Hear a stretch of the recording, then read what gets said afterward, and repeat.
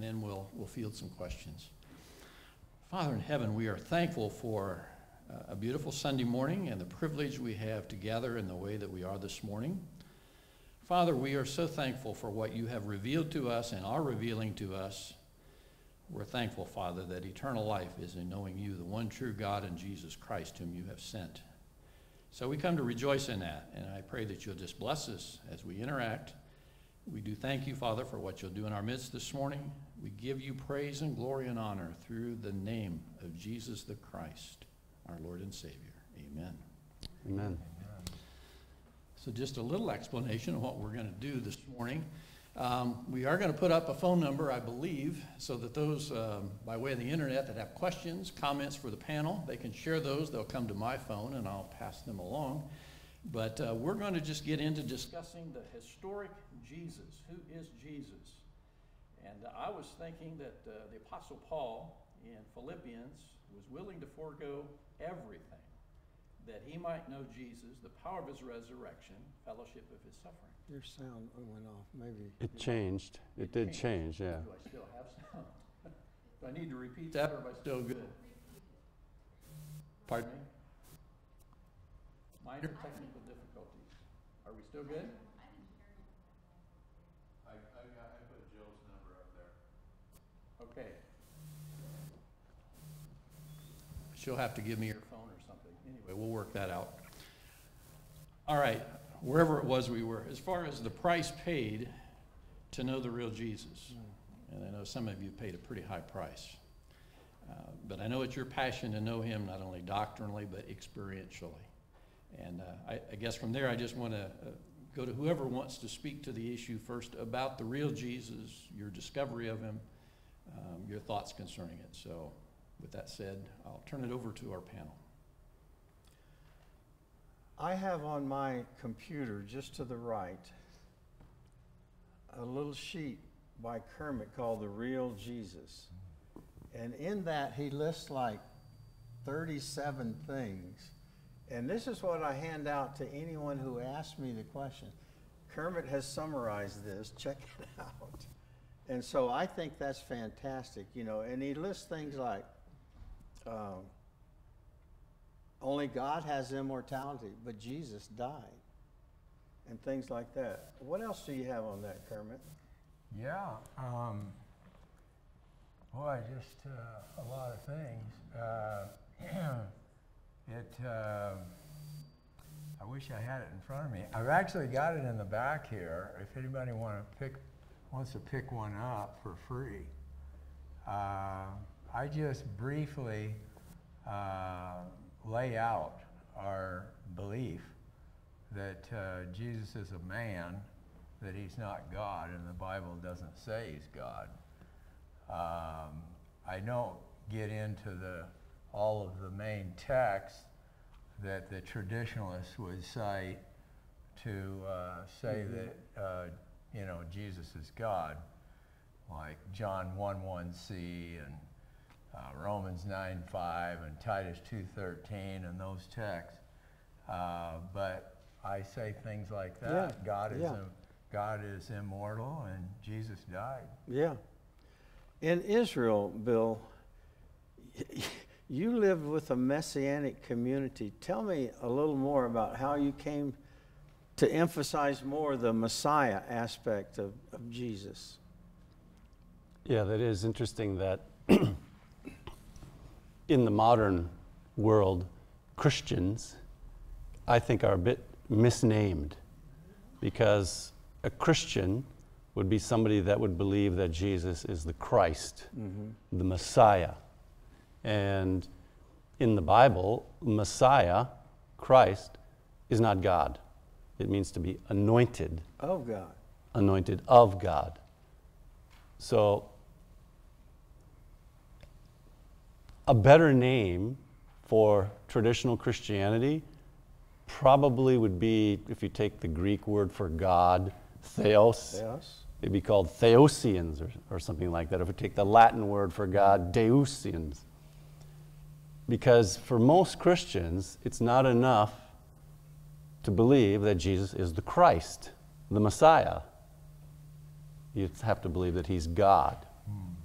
So it is kind of ironic that that name, Christ, is misapplied Yes. in, in modern times, or really for the last centuries, it's been misapplied. But I think it's important, kind of going back to Steve's original question, and as you both have just stated that Jesus is a human being, it's really essential to understand that the Messiah Jesus is a human being, a human person. Person. Because once you have a, the person, whoever the self of Jesus is, if you say that he is a pre existent being, even an eter- eternal God or one member of an eternal God, the person of whoever that is is not human. Then you would have to say that he's only taking on human nature yeah. or form or flesh, these kinds of ideas. They don't really like the idea of flesh. Hmm. They'll stay with it on John 1:14, right? He hmm. became flesh, but pretty soon they'll talk about human nature assuming another nature. They use the word nature, which is more abstract. But for me, like in Philippians chapter 2, which is a go to passage for many deity of Christ believers, those are actions of Christ Jesus. Have this mind in you, which is also in Christ Jesus. Christ is the title of the human person, Jesus is the name of the human person. And if you want to say the humbling act that Paul is describing in Philippians chapter 2 was the act of a pre existent divine being, hmm. you see what you've done is you've taken away the glory, you could say, or the honor from the human person. Now the human person did nothing. Yeah. And there's, that's a, scary. there's an old heresy, and I use that term very cautiously, called Docetism, and it goes back to Greek philosophy. And Sean Finnegan was talking about in Greek philosophy, matter was evil, and our job was to escape matter. Well, that's not the theme of the Bible. So when the Greeks started saying, when, we, when Christians believed Jesus was born, the seed of the woman, the, the child of Mary, miraculously by the Holy Spirit, in flesh, then the Greeks go crazy. Oh, Jesus wasn't real then. And so Docetism means to, he only seemed real. But to me, that's a facade that's absolutely hideous for Jesus. He died, he suffered, he bled, he was, re- he was real. Another uh, point in my track there is that uh, Jesus was tempted, showing that he was a human being. Um, but James, Jesus' brother, wrote the book of James or the letter of James in the New Testament, and he says therein, God cannot be tempted. So these are incongruous uh, statements. You know, the Gospels, Matthew and Mark telling us that Jesus was tempted by the devil at the beginning of his public ministry. Uh, and those temptations must have been real. You know, that's an issue that scholars will debate whether it was real temptation or not real. And this is part of the reason why the title of my tract is The Real Jesus. Yeah, when, when Jesus is praying in Gethsemane, not my will, but thine be done. There, there's two persons who have two wills there. And if he's not, uh, the Bible talks about sweating, as it were, drops of blood. This was an intense thing he was going through, a, a, a temptation to not do God's will, what, to submit God's will. If it's not real, it's just a fake. and to me, Christianity would be a, a, a falsehood if Jesus weren't real. Another aspect of that is of the humanity of Jesus. The New Testament is saying that a human person has been raised from the dead. Hmm. That God raised the man Christ, Messiah Jesus, from the dead. And that gives hope for the rest of us human beings. And that God has exalted the human being, the human person, Jesus of Nazareth, who was born of Mary, who I would assume drank milk and needed to be fed.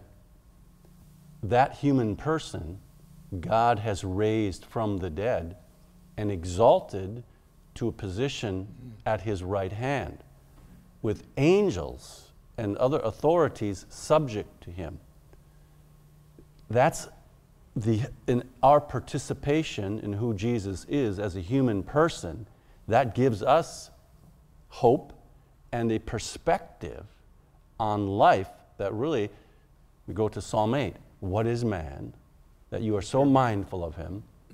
You have crowned man with glory and honor, right? God has given to human beings through Jesus glory and honor mm. and put all things in subjection under him. So it fits well with the whole picture of the Old Testament about who is God and who are we as humankind. And Jesus being our human representative, not a God man. If he's a God man, none of us are God men. So if it's only a God man that's exalted to the right hand of God, it doesn't, it doesn't really help us. Not really, but as a human being raised from the dead, that gives us hope. I don't, I don't think people realize how important it is when it says, God talking in his holy council, let us make man in our image. So we are in what is the Latin imago Dei, the image of God. We can think, we can reason, we have abstract thought. God made us different than my puppy at home. We are absolutely different. We have the unique possibility of choosing God or just rejecting God. We are in the image of God. When God says in Isaiah 1, Come, let us reason together. He's talking to humanity, human beings who have the capability of comprehending who God is. Romans 1 again. By creation, we're without excuse. So we, we are the epitome of this creation. Now, the angels were already created, and God has been in existence forever. No one knows. But we came into existence in the image of God, and this is a gift of God to have thought, free will, choice, to make a decision to love God. What do you think of that, Kermit? Mm, absolutely. Yeah. Um, it's just amazing to understand that Jesus was a human being like us. Uh, the primary difference being that he came into this world uh, through a virgin birth, mm-hmm. similar to Adam, and that's why Paul speaks of the second Adam in Romans. Yes. Uh, is that Romans 5 mm. and uh, 1 Corinthians what 14, 15? Uh, and so Paul is comparing Jesus and Adam and Adam failed the test, mm. but Jesus overcame sin and temptation and all of that. And uh, it's to his glory. And so he's honored, uh, like Bill says, sitting at the right hand of God. A human being sitting yes. at the right hand of God. Absolutely amazing. And uh, one of my favorite themes in the Bible is the second coming of Christ. Mm, amen. When Jesus will bring the kingdom of God in all of its fullness and glory. Mm. And uh, then life here on the earth is going to be a lot better. Amen. Uh, it's interesting to me that you brought up the, the second Adam because after the first Adam sinned, uh, scholars call it the proto-evangelion, first good news. And that's in Genesis 3:15 where it says the seed of the woman would crush the serpent's head. So we've fallen into sin, but there's someone coming who's going to get us out of sin, and it's a human being born of a woman. That's pretty cool. And then if you follow the line down to Genesis 12:3, another major, major good news of Jesus, the blessing of Abraham, the descendant of Abraham would bless the whole world. And that's Jesus. Paul refers to that in Galatians 3. The gospel was preached. So it goes back to Adam's sin and the new Adam in Christ. That's a good point, mm-hmm. Kermit. Very good point. Mm-hmm. Got any thoughts about that, Say, Bill? men, do I dare break in and ask if anybody's got questions? Oh, yeah, yeah, I'm going to moderate it. I'm going to, I'll I'll try to repeat the questions for the sake of the internet audience. I have a couple questions for Bill. Uh, so I'm curious about, uh, you living over there in Israel, are there still Jews that believe there that believe Jesus is the Messiah? And if so, then what was that like for you as a Trinitarian? Was there any exchange of ideas there between? Maybe repeat the question. All right. Maybe I'll try to repeat that question. So you're asking Bill in his experience in Israel, were there Jews who believed Jesus as the Messiah back in his Trinitarian uh, time? How, how did that work with him, if I'm Yeah. getting the gist of your question? Is human and a Trinitarian doesn't. Okay. And you're there right in Israel, in the land. Well, there are Jews in the land of Israel, just like in other parts of the world, a minority, a small minority of Jews that would say they believe that Jesus is the Messiah. In, in Israel, you call them Meshichim, which is the word Messiah, like you would say in English, Christian. Most of those, the number in Israel varies. It has grown somewhat, uh, probably 10,000, 15,000 people maybe. There was a significant number of immigrants that came from Russia in the 1990s that had kind of a Christian background. So the number somewhat increased.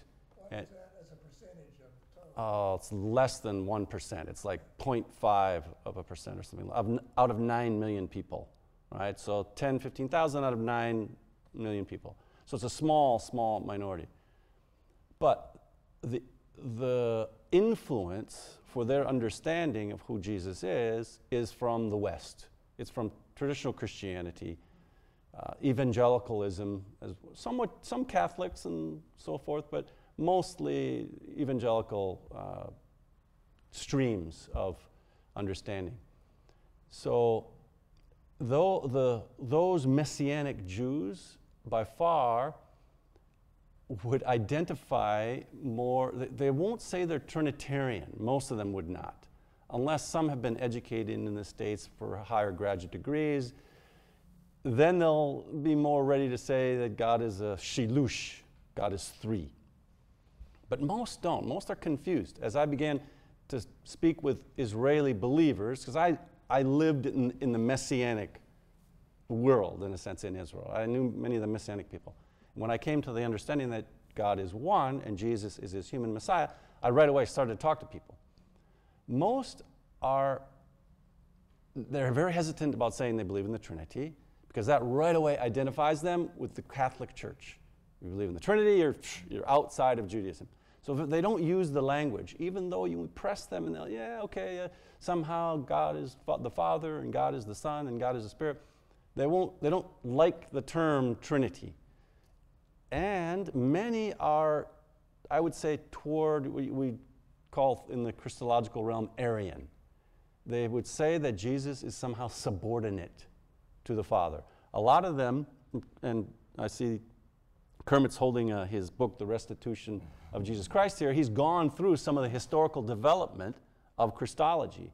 So a lot of the Messianics, I would say they're kind of back in the second century, where Jesus was subordinate to God, but somehow he's still also divine, right? Many are. And they're, con- they're confused because it is a confusing doctrine. Then there are a few that understand that Jesus is a real hu- human person. And I'm hoping, I like to ask for prayer to have God open more Jews in Israel their eyes and their minds to understand, yeah, the Messiah. He's the Messiah. Because you can, and the Messianics, so using that term again, those that believe, the litmus test is the deity of Jesus somehow, right? If you can just say Jesus is God, leave it unclear what that really means, you're in with the Messianics. That's the litmus test.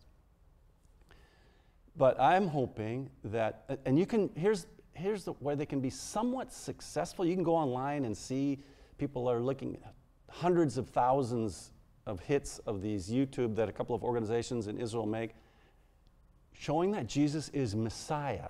Hmm. And there, you can make a good claim. You can, I believe that. You can find that hmm. Jesus, the Messiah, as the apostles said, said, was to suffer and die and to rise from the dead. Now, for most of the messianics that are making these videos, that's like a hook because that's not enough. If a person just believes Jesus is Messiah, that's not enough for them. You have to believe he's somehow God or divine. So, I think, though, that we need the Jews. I really do. I really think if a number of Jews, especially Israelis, but even um, uh, Jews in, that, in the diaspora outside of Israel, can come to this understanding and just tell the evangelical Christian world look at, stop with this nonsense that came from the second century and the third century about Jesus being a God man and you know, pre-existent being that somehow assumed human flesh. He's the Messiah. Amen. Period. Yes. So, I don't, did that answer your question? Yeah. Okay. Question in the back. So, the thing I struggle with when we, s- when we say Jesus is a human, which, that may sound strange coming from my mouth, because I, I, I do believe he was a man. Did he have the nature of Adam? And if he had the nature of Adam, and he, if he was a man just like every other man, we know he did not sin, but the question becomes, how could he not sin? If he was a, a human like us and had, did he have the nature of Adam? You know, so yesterday- How do you rationalize that? How do you get through that? Yesterday, Kermit brought the point the virgin birth made a difference. How did you say that yesterday, Kermit? You were talking about that. Well, as I understand it, the traditional understanding of the virgin birth uh, is that Jesus did not have what's called original sin um, because of the virgin birth. Now, you know, to talk about the mechanism in which that would have occurred and all that, uh, I don't get into that. But um, Adam was created not a sinner. You know, theologically, it's usually called he was created in innocence. So he didn't understand the difference between right and wrong.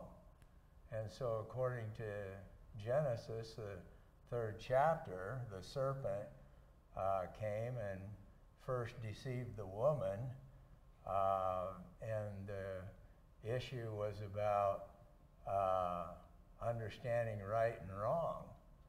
And so then, when they took of the tree, they had an understanding of it, uh, but they became sinners uh, by taking of the fruit.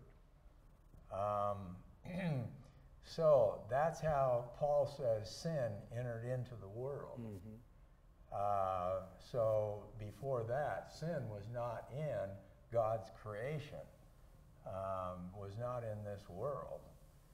Um, and so uh, I have held to the traditional belief about original sin.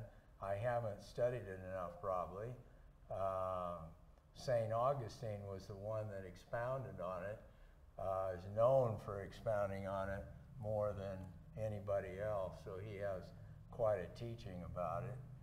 Uh, but um, I have understood that everybody who is born a human being into this world inherits a sin nature because of original sin. but the virgin birth cut that off so that Jesus came into this world like Adam did without sin. There's a real cool verse that, that I, I just love, and my old professor Bill Wachtel pointed out Matthew 11 27. No one fully knows the Son except the Father. So, how that virgin birth produced a non sin nature human being, that's totally up to God how He did it. And that verb in there, no one fully knows the Son except the Father, is epignosko. And that means really knows. So, how God did it, I'm like, Kermit, I don't want to start speculating as to how that egg spiroginated. Dr. Gene Davis from the old Phoenix Bible Church, you say that egg just spiroginated and God caused it to be a perfect human being. And that's, to me, gets away from that sin nature possibility to some extent. No one fully knows the details of that, but Jesus is special, but he's still a human being. And, and the word monogenes, you know, you read Luke 3, Adam is a son of God. But John 3:16, for God so loved the world that he gave his only begotten. That means only birthed son. Adam is a dirt made son of God. Jesus is the only born son of God. And I think that is critical in our understanding of sin and what happens with the perfect sacrifice of Jesus. You know, Mark 10 45, the Son of Man did not come to be served, but to serve and give his life a ransom for many. And that ransom, the Jews missed that suffering part, I think, hmm. for Messiah. They wanted Jesus as Messiah to become king, to kick out the Romans. But Paul and the others and Jesus says, Didn't you realize Messiah had to suffer and die? So that epignosko there may fit in a little bit, Joe. Another part, or maybe aspect of the answer to that question, and I don't think anybody can really answer it totally, is that the, as Kermit was saying, the whole idea of a sin nature and inheriting a sin nature, it's not, it's not so clear. And it's one of the things that I think, in my own understanding, coming to the truth of the one God and the man Christ Jesus, that I've rethought some. And I'm not so sure that Augustine, as he formulated the ideas of the sin nature, it's one of the things I kind of look at and say, hmm, I'm not so sure he's getting it right. The Jews, for instance, have a, a different idea on sin and sin nature than typical Christianity has had. And th- there are places in, in the Bible that describe Jesus as growing in wisdom and stature and in favor with God and man. So he grew in wisdom. And the book of Hebrews says that Jesus learned obedience through suffering. So, yes, Jesus is innocent, right? Very clearly, Pilate says it about five times in the gospel narratives. The man's innocent, yeah. Mm. So, we can see that, we can understand from the gospel narrative that Jesus is who we needed. And just exactly how he's overcoming sin uh, in ways that I think we can learn uh, as well. God has equipped him in unique ways. Joe was talking about the word there, unique. Being, having the, the Spirit without measure. Mm. And I'm sure there were, there were ways in which Jesus was more sensitive to the Father's leading and obedient. Mm-hmm. And we come to understand these things, but he was, I think, able, he was able to do that better than us. But uh, to me, it comes back to the verse that Kermit and Joe, I think too, um, referred to. And I just have open here Romans chapter 5, mm-hmm. which is one of the best explanations, I think, in the New Testament of the necessity that Jesus is a human being. Romans chapter 5, 15 is a good example. But the gift is not like the trespass. And he's going to compare Adam with Jesus. For if many died through one man's trespass. This is another aspect, Kermit, is the penalty of sin passed on to mankind. I'm not so sure about the nature idea, but, mm-hmm. but I know with the penalty, that is death, passed on to mankind. Yes. So that's the, if many died through one's trespass, much more have the grace of God and the gift in the grace of that one man, Christ Jesus, abounded for many. So the penalty of death came upon us, but the gift of life through Jesus Christ comes on us. Amen. That's Yeah. fantastic.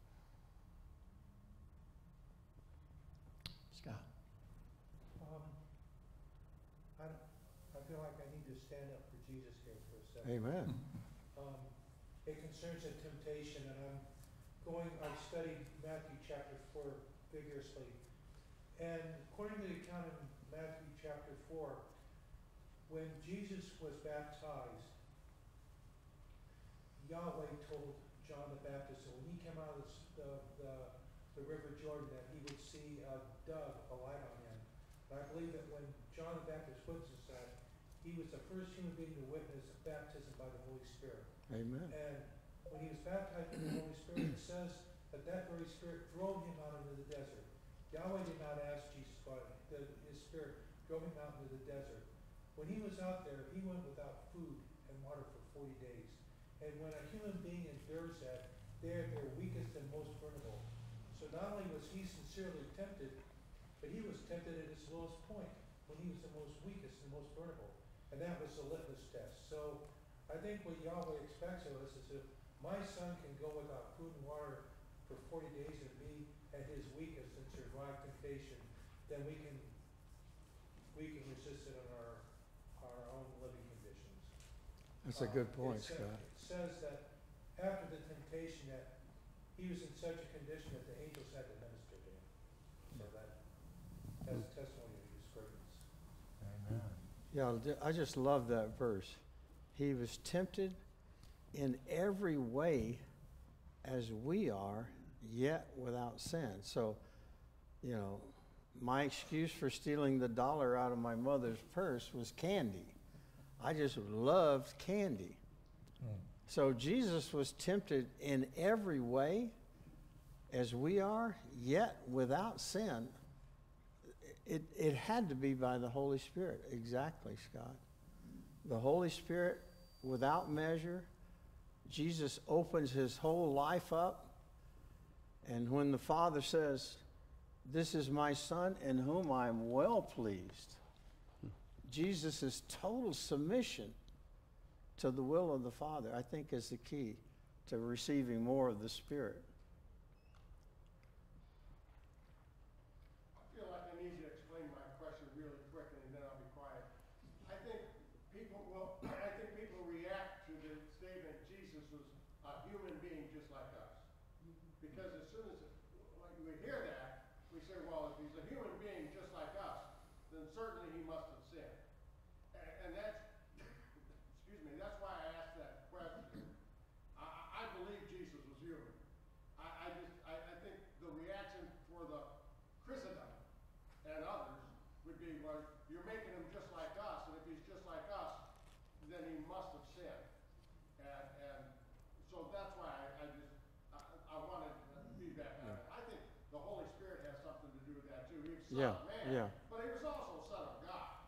And, and so that's why he could represent both sides, uh, uh, Second Timothy. But, uh, that's why I just, Well, just, just that verse that says, he was tempted in every point as we are, yet without sin, you know, means that he, he was a human being. The, the whole notion of mere man, I think the, the Latin or Greek is psilanthropos, P-S-I-L anthropos, just a man. No, he wasn't just a man. He was a man totally. Marge told me not to yell. Jesus was a man totally dedicated to the will of God. He submitted in every way to his Father. Father, not my will, but thine be done. And I think that's a major deal for a human being. And I think that's the example. Jesus set the example. So we in our stupidity don't have to fall into these temptations that are all around us, but we have a way out now. I like that, way out. You were going to read something? Joe, I, I get pushback sometimes uh, when I go and say something like that. Uh, Jesus was just like us. Um, and so, you know, I'm open to using other words, other language, but what I'm trying to just express is that Jesus was fully human. Um, the main verse that we're referring to here is over there in Hebrews 2, verses 17. I'll read it here. Uh, speaking of Jesus, the author says, He had to become like his brothers and sisters in every respect.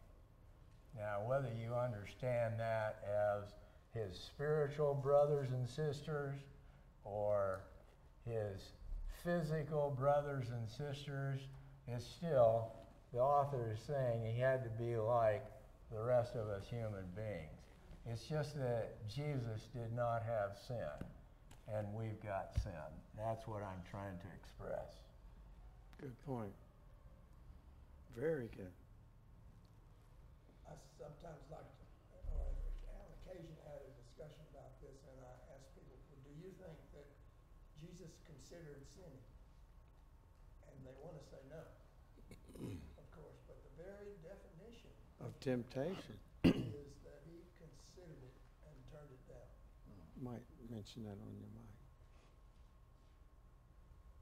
For the sake of those who might not have heard that, yes. So.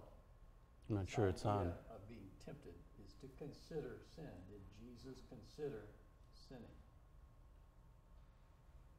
Yeah, it's a real dilemma for the deity of Christ world if they think that this is actually God, that Jesus is God. You know, can he sin? Did he not? Was he tempted? It's, a, it's more of a dilemma, actually, I would say, Joe, for, for that perspective. Then you have, it's like, this is God. Satan says, Here, I'll give you the kingdoms of the earth. That's not a temptation. I'd laugh at Satan and say, Who are you? Get out of here. I'm God. It's like it's not a temptation at all. That's why they have to almost hmm. say that he really wasn't tempted. Maybe in his human nature, you got to go to this hypostatic union again. Totally unbiblical idea. That's a very good point. I never thought of that before. One of the things that I wanted to bring up this morning, since this is Sunday school hour, Pastor Steve, I want to encourage all of us to seriously look at Deuteronomy 6 4 and following. Hear, O Israel, the Lord our God, the Lord is one. Uh, Shema Yisrael Adonai Eloheinu Adonai Echad. If Anson were here, I was going to have him, the seven year old, say that. But the following verses, and you shall love the Lord your God with all your heart and all your soul and all your mind and all your strength. And then, what are we supposed to do with that information? Darlena, teach it to your kids when they lie down, when they rise up, when they're sitting at the table, and when you're walking along with them. Okay, Joe Myers was always talking about the 10,000 hours thing. Pick that up from who, Joe?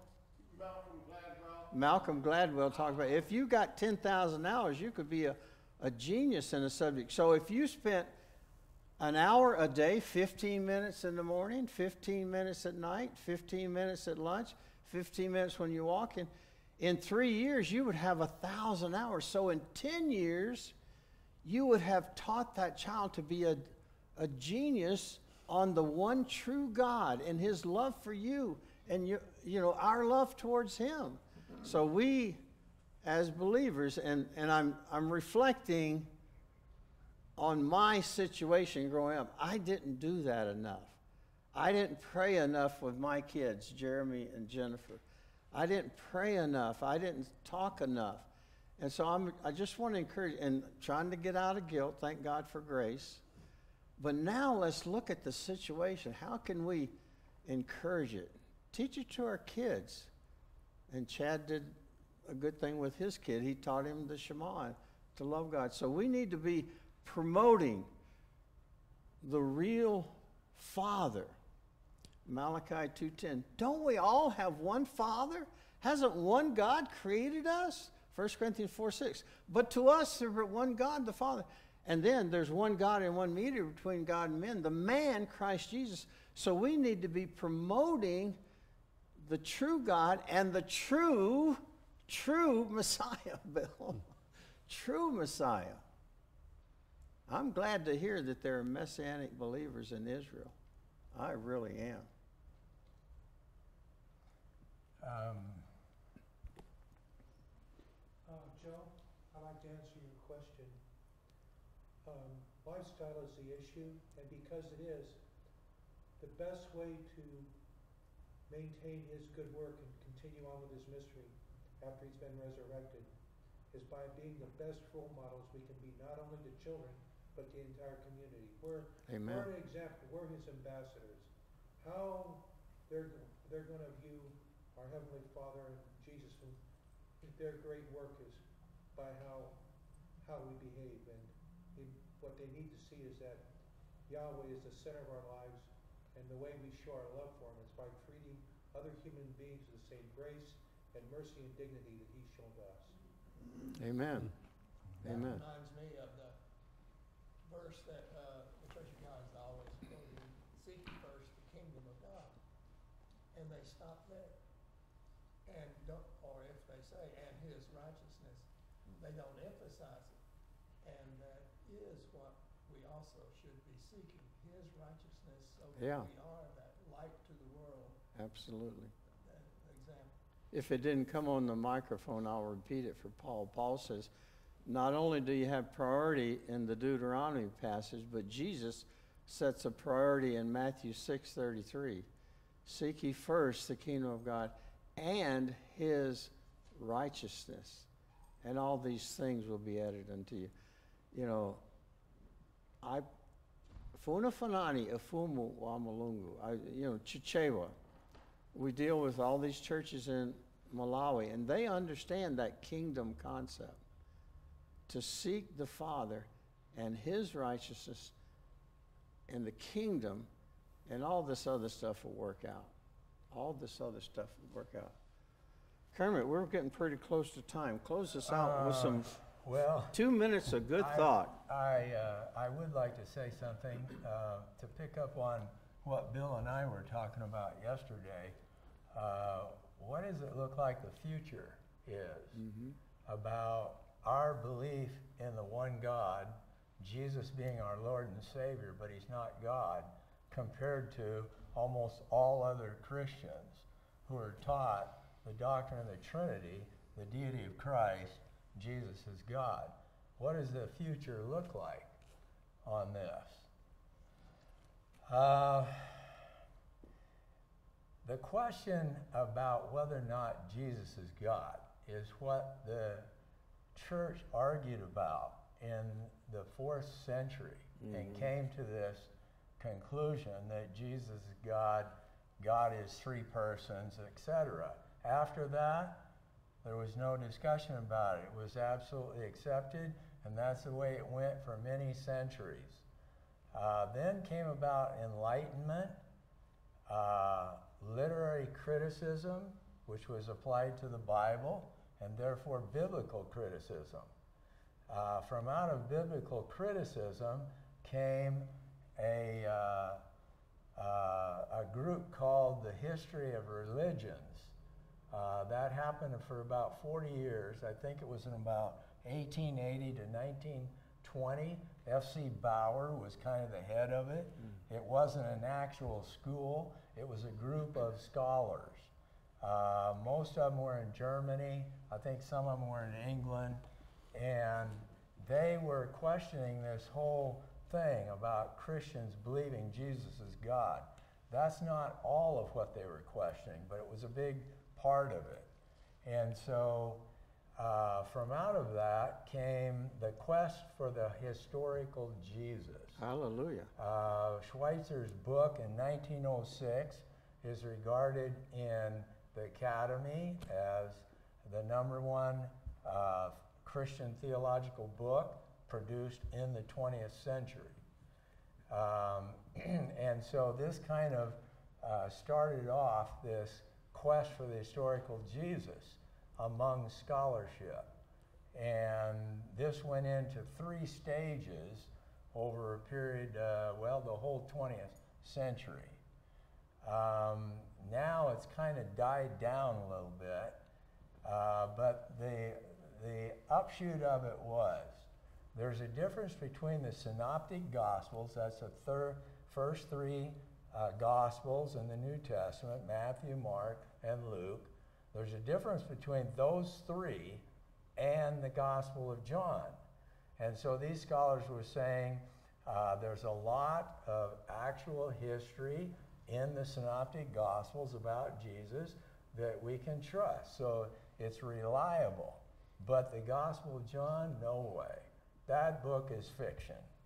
And so they believed the same thing that the church had believed for over a thousand years that the Gospel of John teaches very clearly that Jesus is God. And the, the scholars in the quest for their historical Jesus, but going back before that, the scholars in the history of religion school, they all said this. Absolutely. The Gospel of John is a totally different book from the Synoptic Gospel, so much so that it can't possibly represent the real Jesus who lived back there 2,000 years ago. Um, and so this has been the position. Uh, now, it was based uh, as from the perspective of those scholars that, um, that said, no, the Gospel of John, you can't trust it at all. Uh, and they said, no, Jesus certainly was not God. So that book is all wrong. It says Jesus is God, and no, he wasn't. Um, and so they, uh, uh, this perspective was based on the dating of the Gospels. It was accepted that Matthew, Mark, and Luke uh, were created, were uh, written in the 70s and 80s, but the Gospel of John was written in the second century, Hmm. uh, maybe clear into the middle of the second century. Now, uh, you know, we would refer to these as liberal scholars. They don't, meaning they don't see the Bible like we do. We see the Bible as fully inspired by God. They don't see it that way at all. The Bible's got all kinds of mistakes in it. It was, uh, uh, you know, these books were created by human beings, goes on and on like this. And so they said that the Gospel of John was created much later when this whole idea of developing this Christology about Jesus took place. And so they would say, yeah, in the Synoptic Gospels, this is, this is the, the more of the real Jesus here, and the early Christians didn't believe Jesus was God. But later on, Christians did. And that is true, that in time, Christians began to be taught that Jesus was God in the second, third, and the fourth, Fourth century. And so, but now there's a change going on about this. Amen. This has been very accepted that the Gospel of John was the last of the books of the Bible written.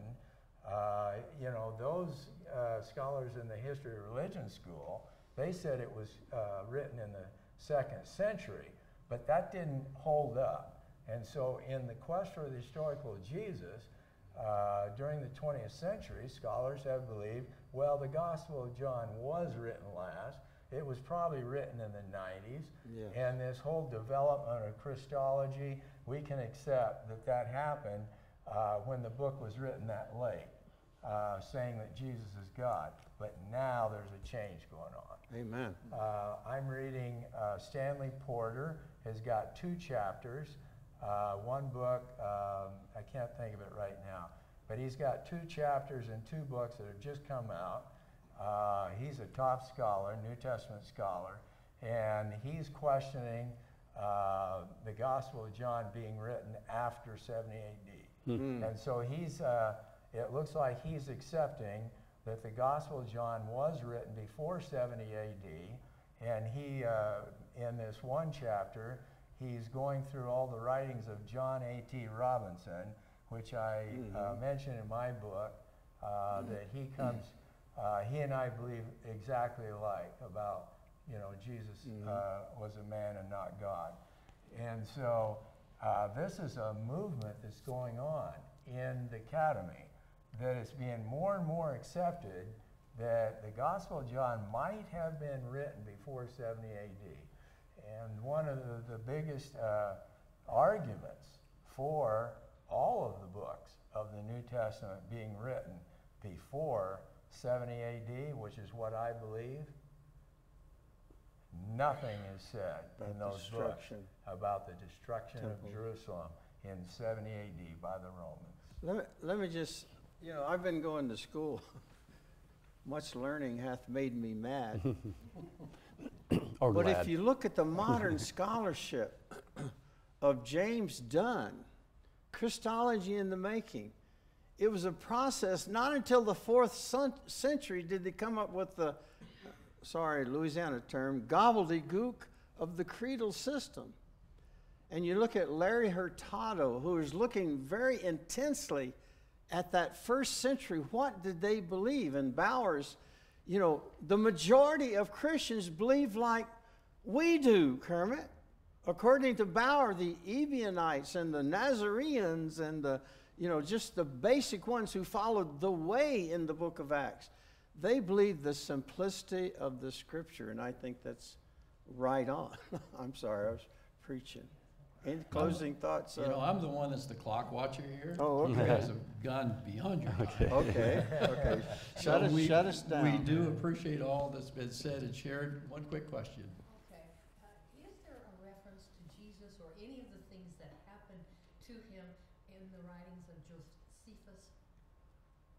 Yes, he refers, uh, uh, they call that extra biblical. So Tacitus refers, Josephus refers to those Christians. And so Christus, followers of Christus. So there are some extra biblical uh, references Was to, there a reference about the crucifixion or anything like that? yes, he was killed. Yeah. I thought so. Okay, thank you very much, men. We appreciated having you this morning. Thank you And for we'll take having a us. Short break before church starts at ten thirty.